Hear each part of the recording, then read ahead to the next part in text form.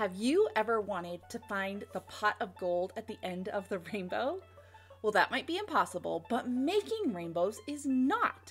Today, we are going to make some rainbows and then we'll talk about the science behind it, what a rainbow is, and how we were able to make them. Come on, let's go find the end of a rainbow.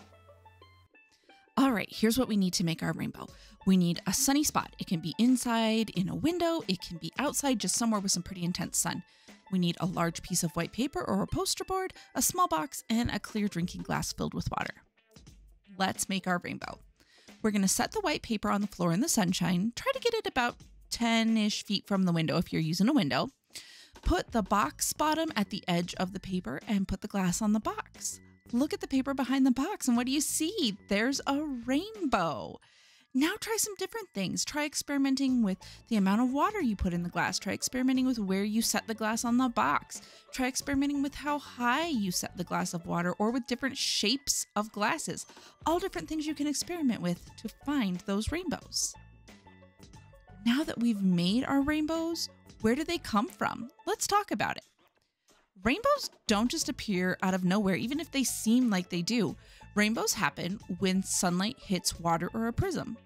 Sunlight is what we call white light, and even though it looks white, it's actually made up of seven different colors red, orange, yellow, green, blue, indigo, which is kind of a shade of blue, and violet or purple. When we see sunlight, we're actually seeing different waves of light all coming at us.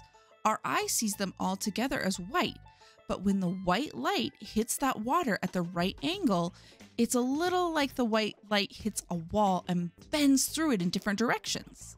This is called refraction. The red light goes one way, the violet light goes another. Orange, yellow, green, blue, indigo all end up in the middle. Because they're going in many different directions, they're not hanging out together anymore as white light, and we can see them as their individual colors. It's the same thing that happens when you shine light through a prism. The prism bends the light and cuts it into its individual colors or makes them change into their individual colors. But rainbows happen after it rains. Well, what's up with that? Well, to make a rainbow, you need two things something for the light to crash into and break apart, and the light itself. In the middle of a rainstorm, it's pretty dark and cloudy, right? And on a hot, sunny day, there's no water in the air for the light to hit. Rainbows happen during that special time when there are still water droplets in the air after the rainstorm, but the sun has come out from behind the clouds.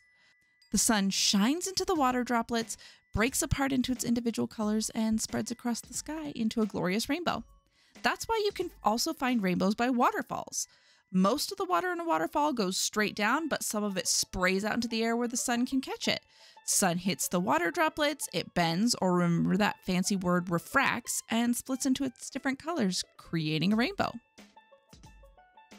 Once you know the water trick, you don't have to wait for rain to see a rainbow. You can make your very own rainbow in any patch of sun. Knowing that is a little bit like carrying a rainbow around in your pocket, isn't it? If you want to learn more cool stuff about science, hit the subscribe button. We do a new unit every month, and that unit has a science experiment, an art project, sensory bins, fun facts, all kinds of cool stuff. And if you just want more science stuff in the meantime, check out my science playlist.